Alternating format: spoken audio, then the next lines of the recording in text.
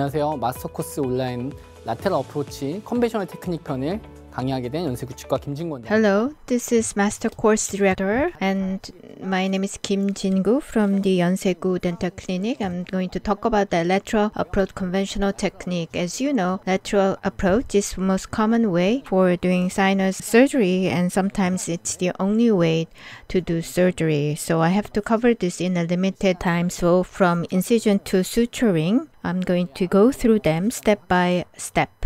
Uh, so first, what you need to do is before operation, you have to disinfect and you have to do anesthesia, and you end with uh, suturing. So I'm going to focus on what are the important steps, and others I'm just going to give you a high-level overview. So the first step is disinfection followed by anesthesia. Before operation, you do a lot of disinfections and chlorhexidine um, would be the most popular approach. So through goggles or gauze, you put in uh, chlorhexidine to effectively remove the uh, bacteria in the mouth. So sometimes iodine, like betadine, is used. Uh, but um, skin uh, disinfection might be effective, but it's not often used in orally. And then anesthesia. So to do lateral approach, uh, basically, you have to do uh, uh, block um, anesthesia. And there are two things to be considered. First is superior alveolar nerve block, and then greater palatine nerve block. And one thing you never should forget is that on the nerve distribution, the it's up to the distal buccal uh, root on the upper first uh, molar. So you have to do incision or window opening. Uh, you have to also um, think about uh, anesthesia for nerves. And for the palatine side, you have to do, do nerve block. And when you uh, do, have to do incision and have to do flap elevation, you have to consider which side you are going to do them. And one thing I want to also emphasize is that uh, you cannot use short needles. Uh, when you do anesthesia, be it upper or lower, you have to, especially on the upper side, we have to do on the upper part, and it can stuck on the zygoma side. So you have to do it with the long needle. So most patients or most uh, dentists do anesthesia in this uh, area, but long needle more than 70% upper on the vestibule side. That side is the point where you do the anesthesia. So you have to disinfect it and then you have done anesthesia. Then third step is doing incision and flap elevation. So often you use horizontal and two vertical incisions. So let's look into the detail. First about horizontal incision. Uh, you have to put approach more palatal than the surgical site. So on the from the mid crestal, you have to go a bit toward uh, inside. So because you cannot hold on to the uh, uh, flap, so it's more convenient and then you use vertical incision. On the mesial, you have to go long. On the distal side, it's better to keep it short. Of course, if it's too short or the vertical incision margin on the upper side is on up to only low on the musical gingiva side, the flap will not be fully elevated. So being on the long too long you should not do it on the distal side. This is very important. This is because of the blood vessels like uh, from the uh, you have the extraosseous branch of the posterior superior alveolar artery and on average that's about 23 millimeters and with the vertical incision sometimes it's cut hence if it's too long distal uh, incision, then it could cause arterial bleeding. So on the distal side, you shouldn't go too long. On the front side, in most cases, uh, there are not much to damage anatomically. So long is okay, but not try not to be too excessive. So again, this is patient on the up uh, front side long incision and sh- shorter on the distal side, and horizontal leaning uh, palatal side and sulcular incision is a must. Uh, so so that there will be no flap tear, but uh, there will be clean detachment. Then you will open flap like this. The depth of the incision compared it, a flap will be wider, so it would open more upper side. So sufficiently, uh, there will be uh, surg- access uh, secured. So sometimes you use too small instrument, but after opening the flap, Minnesota and Seldin needs to be used so that uh, there will be sufficient dissection, and this is much better uh, for good visibility. Next um, is window preparation. You have to open the flap, and the bony wall has been exposed. So you have to do sur- to do surgery. You have to make windows. So you use different instruments. So which side you have to make window is the key. Uh, should be the key focus. So where it would be the best uh, suitable site? I'm not trying to make a laugh, but this is Monk Kungye, and um, he has a very uh, looks at things very closely. So, anyways, if you open flap, you see something that is different. So it, here, white pattern, patent, and it's very smooth. But some other side there is bleeding. There is uh, also uh, some soft tissue that has become detached, and you know, hence you have uh, bone bleeding. So of course there is a borders, and this is where you have to make window. So if you look close, then this site is there is a border and color wise, texture wise, it's a bit different. That is where you need to make window like this. So always you have to look at the panorama picture to see where is the where the window needs to be and where the uh, lower part of the window needs to be and if you see very closely you can uh, know and one more case this area there is bleeding there's irregular uh, you know detachments but upper side there's a, a lot of more patents. So this is uh, again therefore area where you have to make window. So again like this very elongated window can be made here uh, like this. Hence where you make window uh, you take CT or panorama photo as a reference to choose the site but you also need to check intuitively with your own eyes. And that is important. Then exact uh, site where is a good site? There are different opinions but i think general view seems to be if possible more on toward front side so on the sinus side where you want to make window closer to that and closer to the inferior margin they say it's more favorable. And lengthwise so for convenience of the surgery, for the instrument accessibility, the uh, distance is uh, set. The height needs to be at least five millimeters. Otherwise, uh, the instrument cannot move freely inside, said making uh, surgery challenging. So if you're new to surgery, it's better to make wider or bigger window. And once become comfortable, you make your own may and customize the size uh, to your uh, preference. But again, toward the front and closer to the inferior margin is key because various perforation on the medial side and here on the inferior side, you see a lot of uh, these things. So let's look at actual case. For this patient, where should we make window? Number 20 is not a good condition, so you have to extract the tooth. So you should extract two uh, teeth. Where should the window? If the sinus and inferior margin, then this black area is where the window needs to be. But if you make window like this, if you detach membrane here, there could be some tear. So if possible, the implant uh, on the middle of where, where the implant will be placed on the front side, it's better to be closer to the sinus inferior margin. But if you want to take out number four and five, then you know the distal limit would be extended and the, the front part would be the same. But with experience, uh, you can, of course, always make better decisions so you make window and membrane exposed and this would be the borderline for sinus. I don't think this is a best option. If it's closer, maybe it would have been better.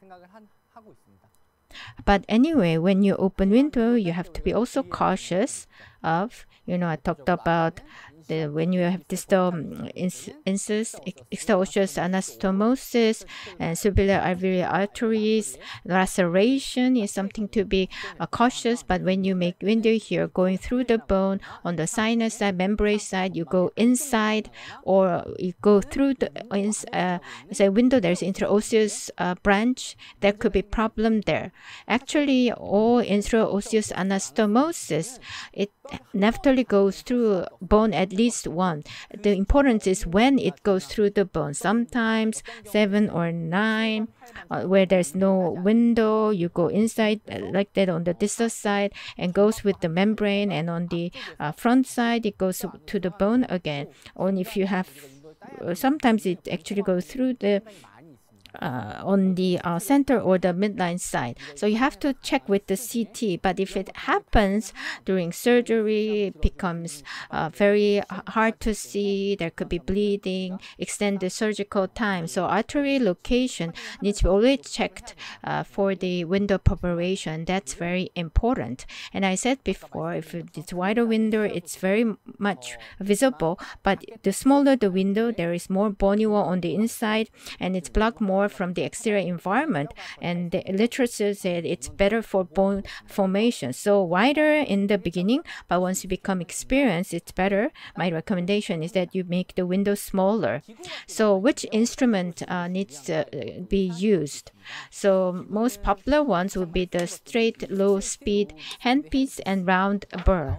Sometimes you also use lasket and piezo surgery as an instrument, and sometimes you could also use high speed.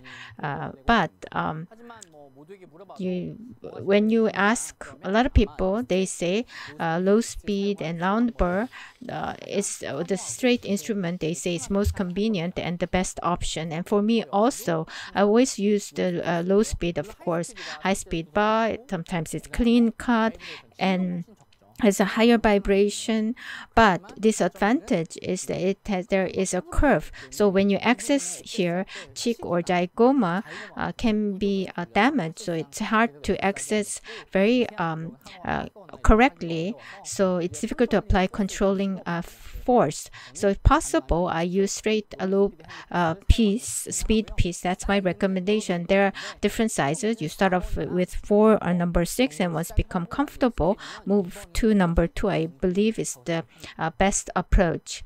And rather than freehand, always use finger rest on the uh, front teeth, and that avoid any slippage or damaging other structures. So again, on the front teeth, uh, tooth, you give finger rest. And vertical, if you go in, there could be tear um, in going through to the sinus. So again, um, go from the uh, side and rather than giving a vertical force force it's better to give side force. And here with the drill the wall here when you uh, open it up uh, you we have to be cautious step by step slowly if you grind in the uh, slowly then you see the light bluish hue and uh, that shows that there will be membrane uh, here. And until you see that hue you go grinding very slowly like you are painting very uh, cautiously and slowly. And when you see this membrane or the bluish hue you open it. And if otherwise there could be difference in thickness and and in window preparation uh, there could be more damage so again, um, window preparation can be in three ways. You could do infracture, uh, infracture technique, uh, folding is involved, or you could be grinding out technique. Everything is grinded out. And lastly, you create good wall and you know uh, take the wall off and after surgery you reposition the wall and that's called wall off technique in most uh, cases, they opt for the wall-off technique. And then when you uh, do wall uh, win window uh, off, there's always a window or some uh, residual window uh, and then you do green stick fracture to remove it. so when you remove it you have to be very uh, careful. as you have to uh, careful uh, of the membrane tear whether you put in the instrument uh, too fast or too deep so you reposition it afterward and you sometimes put the this in line during uh, before repositioning.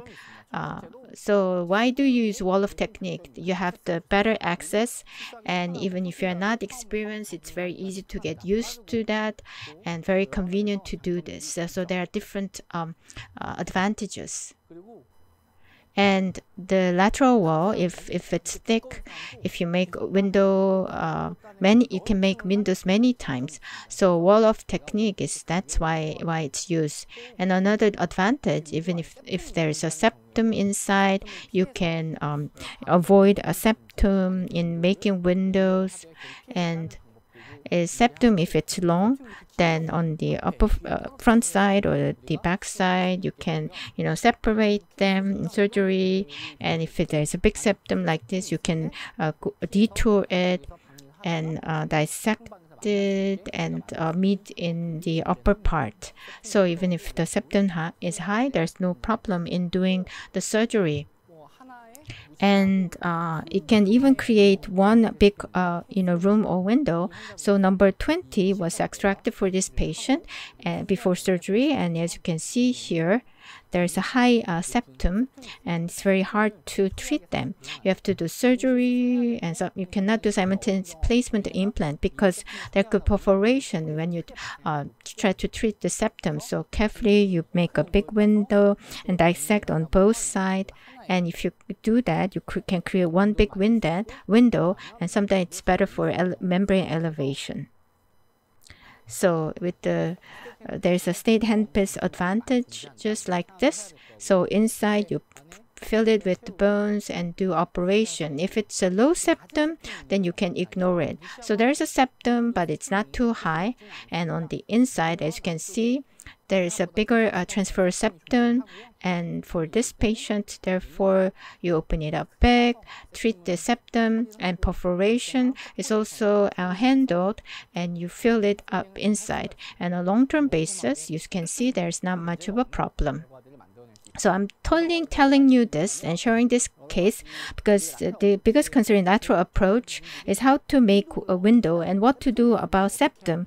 So special instrument and you might say uh, could be the answer, but frankly the best way is the round burr and straight hand pieces will be can be used so that um, you can handle any cases in operation and once the experience build with different types of operations, uh, you can do it uh, much easier.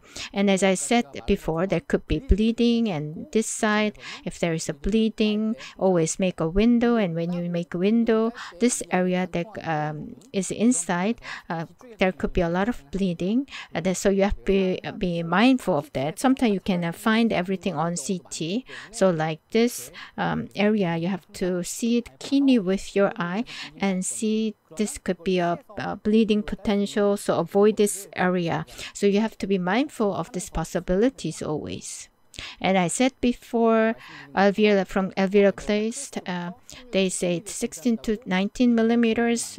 that's what's often said in journals, but it's different from the window uh, shape.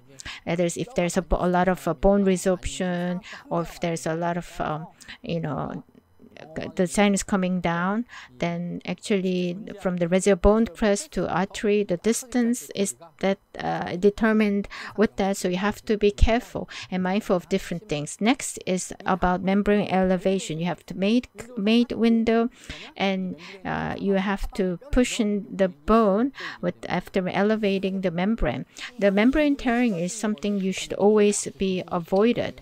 And another thing is color and thickness and whether there is a cyst and pathological condition always needs, of course, needs to check through the CT uh, before operation and also check after making the window also. The first thing you need to do is if after assessment you have to separate the member. So a separator, like this type of instrument, like when you pushing something down, this round uh, plate uh, can be used. So you put that in the margin and round it up, then it can be cut very easily. So you only cut it on the uh, kind of the border area.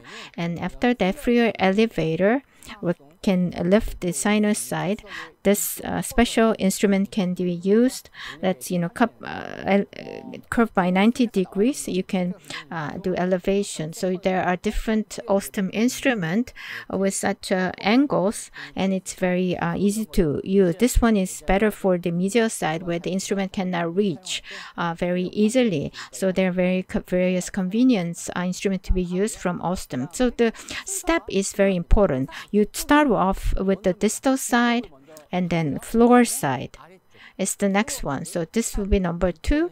Next will be on the mesial side. And lastly, once everything is all uh, off and it's a bit, uh, there's less tension, then you go palatal or the medial side. So from the beginning, if you start with the medial or palatal side, there's a lot of high tension.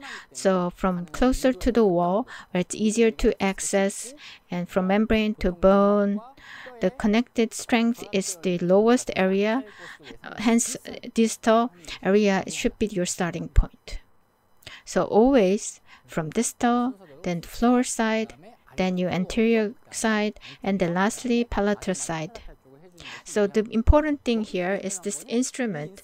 If it's on the air, it should not be uh, the way. Always it needs to be kept in touch. The edge uh, side should always be in touch with the bone. If you push it like this, inevitably there will be perforation. So again, the edge or the tip should not be uh, pushing inside. It should always the tip should always touch the bone. Like if you create a crust, it uh, on the pan, um, it's better to go inside, like uh, this uh, direction, uh, to uh, for to take things out. So, how much elevation? There are different theories, but many agree that the bony wall, if it's uh, the more the bony wall, the more favorable area it is for bone inf uh, formation. This means that on rather than this case, like this, full detachment, so securing more the uh, bone surface is better for the bone blood supply and cell supply. Hence, it's more favorable conditions for, for bone formation. And again, always too little on the palatal side. Some it really happens uh, for me also, frankly. But rather than that, consistently uh, elevation of uh, that is on a consistent level throughout is important and uh, better. Now, do you put in bone? No, if you have done membrane elevation, then you have to do drill to place implant. So you prepare the implant site and then you put in bone and then place implant. So there are different approaches, but as you know, on the upper area, the bone uh, quality is unfavorable on the posterior side and if there's a lot of bone loss on its um, extracted side, then the bone density would be weak. So the recommended way would be smaller final drill can, needs to be used for the final preparation. That's more favorable in terms of result. So here, uh, it's including the casket. So to put in 4.0 uh, Uh, you only need 2.8 to 3.1. Of course, on the lower uh, posterior, it might be not sufficient, but if the, it's less bone quality and less bo the bone height is low, then you have to think about the stability. So you should not drill too excessively. And when drilling, sometimes you get uh, stuck on the adjacent teeth, especially number 20s. Uh, sometimes there's a lot of uh, block. So uh, the path might be ruined if you when you want to place the implants on the left side. Possible you use drill extension or use long drill. That's more uh, will get you favorable result. And after sufficient detachment, even the drill tip is touching this area, there will be no not much perforation. So enough detachment guarantees uh, uh, no sinus membrane perforation. So food uh, enough detachment is important. Next is bone grafting. You have to put in bone and to bone and there are different of course ways but we are talking about lateral approaches so we'll uh, go laterally and there are different types or volumes that's involved but in this lecture I cannot cover everything so I have we have separate lecture on that so please uh, reference that. So if you put the bone in then you have to place implant and when you play, place implant, there are different theories. So you could have staged approach or you could have simultaneous um, approach. So is it better to wait uh, in staged approach or is it do it at the same time simultaneously there are different uh, opinions this paper came out in 98 and it's related to this is the first consensus conference report on sinus surgery protocol. So this was uh, protocol created 96. So if it's 10 millimeters, um, it's not much of damage. And if there's that much of um, uh, residual uh, bone, then use sinus floor elevation. And if it's like this, you can do simultaneous. Or if it's one to three, then you have to do delayed approach. But uh, my experience tells me, and considering different factors, you, if you can place implant, if there is a, instability to be gained, I prefer doing simultaneous placement.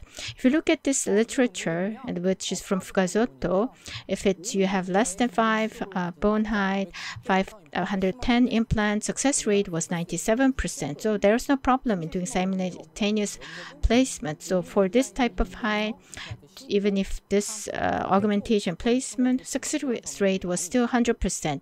If you look at this uh, journal, this is a systematic review, so it's more credible.